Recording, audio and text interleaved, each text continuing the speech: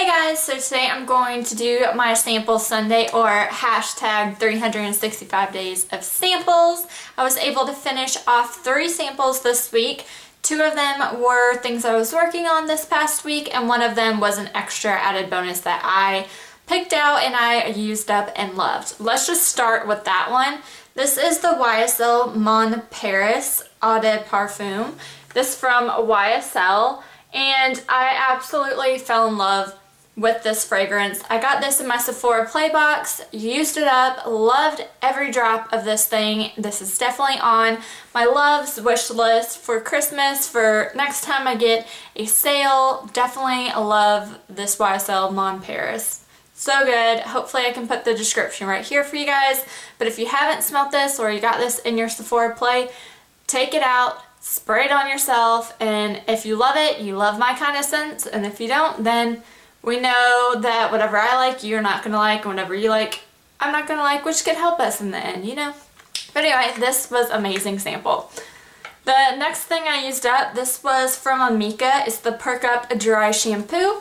And it looks like this. I definitely love the scent of this. It's the Sea Buckthorn Berry.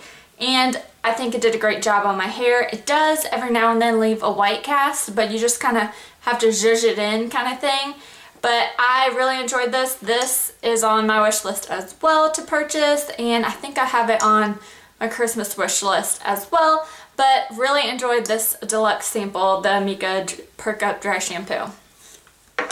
The next thing, I'm really happy to be done with. This is the Kardashian Beauty Black Seed Dry Oil. Looks like this it an oil for your hair. I love putting oil in my hair. However, this one had a cologne scent that kind of stayed in my hair. And I just, like I used the last little bit of it today and I still smell it.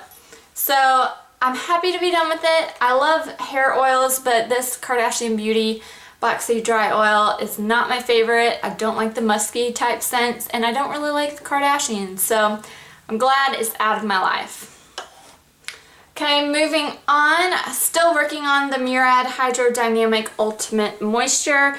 As you guys know, I'm using this as a hand cream because it's too thick for me for a face and neck cream, but I am definitely getting down there. Don't know how well you guys can see, but definitely getting down there and hopefully I can use this up this week. The next thing, still working on, and it's almost done, this is the Energie De Vie by Lancome. It's kind of like an oil for a dry oil for your face. I use it kind of in the mornings on the days I don't use my other product. But this week I started right up here. You didn't get a lot of product to start off with. And then I'm down to here. Again, I do enjoy this product. And I actually think I enjoy it more than my Ole Henriksen Truth Serum. So I'm still working on my Lancome Energie De Vie for next week. And this again is the Ole Henriksen Truth Serum Collagen Booster. So this is another oil type item for your face. However, this is a little bit more stickier and liquidier than this. This is definitely, like I said, more of a dry oil and this is like a sticky oil. But I love the scent of this. This has like an orange scent to it. I've been working on this in my sample Sundays for a little bit. So you saw last time I was up here down to here. So I didn't do too much of a difference this week and that's because I was using the Lancome one more than this. So definitely still working on this and I do still really enjoy it but that Energie De Vie one it just isn't as sticky on my face so I enjoy that better.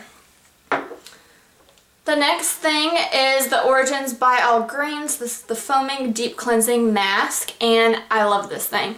You let it sit on your face for a little bit, it foams up, and then you rub it in and rub it off, and then you just rinse it off, and it makes my face feel so good.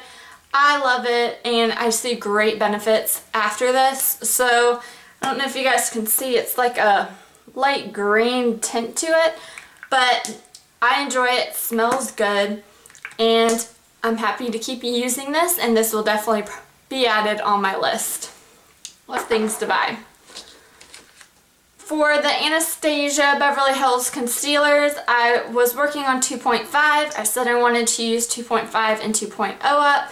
Let me show you where 2.5 is. So that is my progress on 2.5 and I haven't opened the 2.0.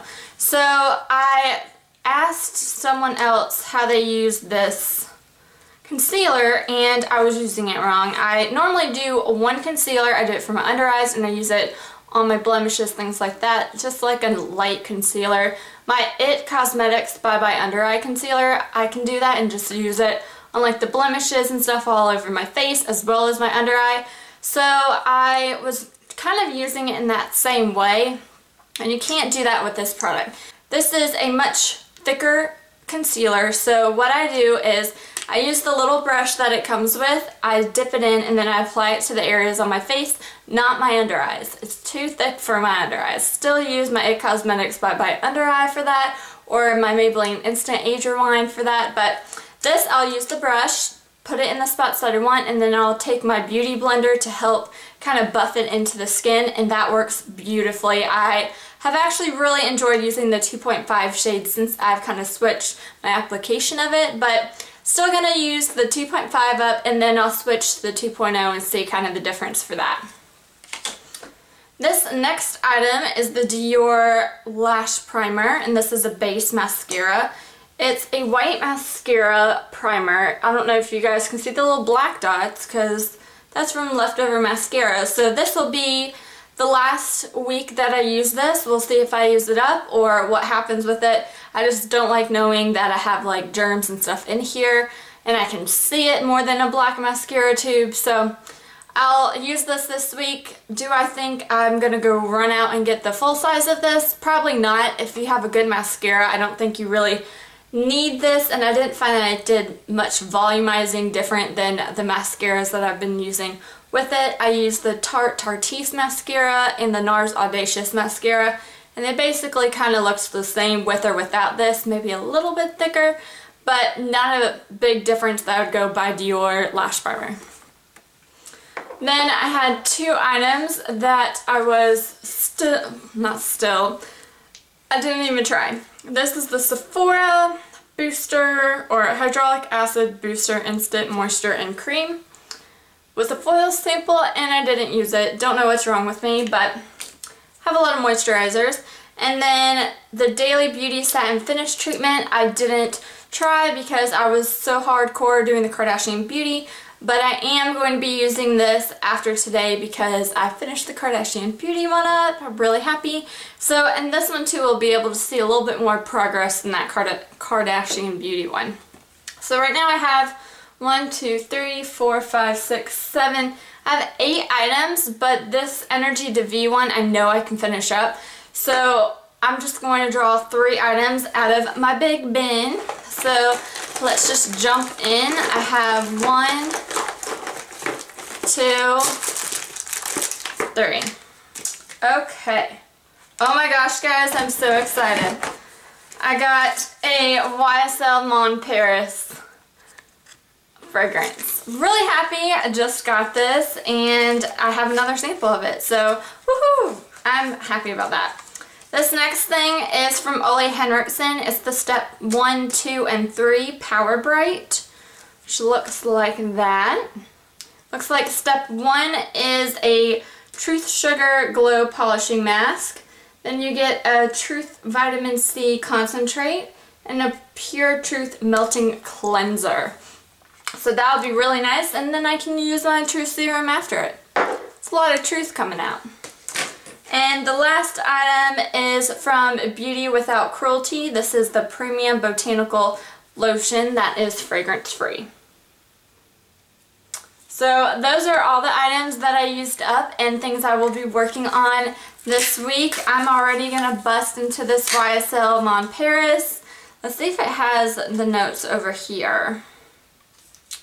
It says, an intoxicating white chypre or whatever to make you lose your senses. The sensuality of white petaled musk entitled by a vertiginous, wow, I can't read, um, dature accord and balanced by the intensity of an exceptional patchouli, the trail of intense love. Peony accord, white musk, datura accord, and patchouli incense, and I love it. This is what the bottle looks like, and oh my gosh, I love it. So I'm going to spray it on myself. And I will talk to you guys later. Have a good one. Bye.